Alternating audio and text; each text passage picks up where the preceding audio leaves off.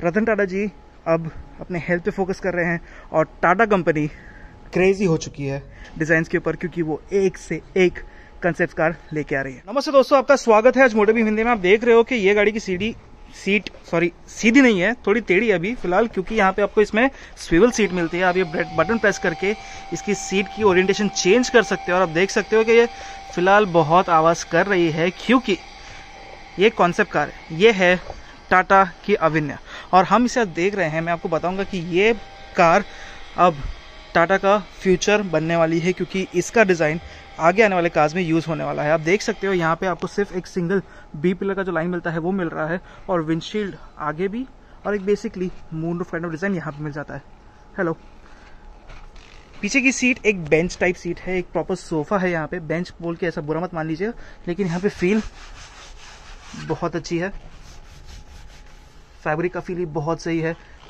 Headrest भी बहुत अच्छा लगता है। और यहाँ पे हर एक पर्सन को अपना खुद का सराउंड साउंड और खुद की सीट बेल्ट मिलेगी। चार लोग की सीटिंग है प्रॉपरली तो आप देख सकते हो कि यहाँ पे आपको कोई भी एसी इवेंट्स वगैरह नहीं मिलते हैं। क्यों पता है? क्योंकि एसी इवेंट्स दरवाजे में खुद के हैं पर्सनल है, सब बेस्ट है। आपको सीट आगे पीछे करनी है तो बस ये बटन दबाना है। सीट पीछे हो गई। और यहाँ से सीट आगे हो रही है। बहुत छोटा सा मूवमेंट है। बट ये बटन से आप सीट आगे पीछे कर सकते हो। पर्सनल एसी यहाँ पे है। और ड्राइवर के लिए आप स्टीयरिंग देख सकते हो कि बहुत ही ज़्यादा यूनिक है, बहुत ही अच्छा फील आता है यहाँ पे। और ओवरऑल आपको यहाँ पे हैप्टिक फीडबैक भी मिलेगा। साथ ही साथ यहाँ पे एक छोटा सा क्लस्टर मिलता है। एंड दैट्स इट आपको डिजिटल में कुछ नहीं मिलता।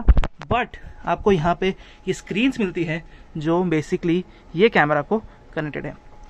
आप पीछे की तरफ़ देखिए तो अभी बाहर आ जाते हैं। तो आपको ये टेल लाइट मिलती है, जो फ्लोइंग टेल लाइट है एंड टू एंड तक। और ये टेल लाइट बेसिकली इसके मिरर्स को मैच करती है वो लाइन में। पीछे, और सॉरी चारों टायर्स आपको 22 इंचेस के मिलते हैं। और यहाँ पे ये फ्लोटिंग लोगो मिलता है आपको। अब ये डिज़ाइन थोड़ा सा रोल्स रॉयल्स फील देता है। डेफिनेटली देगा, क्योंकि ये कार मॉडर्न जेन के बारे में है। और ये अब टाटा की थर्ड जेन के डिज़ाइन पे बनने वाली है। फ्रंट में भी आपको एक प्रॉपर फ्लोइंग एलईडी मिलती है और ये टाटा का नया लोगो है। साथ ही साथ आपको एक डिफ्यूजर काइंड ऑफ़ डिज़ाइन मिलता है आगे।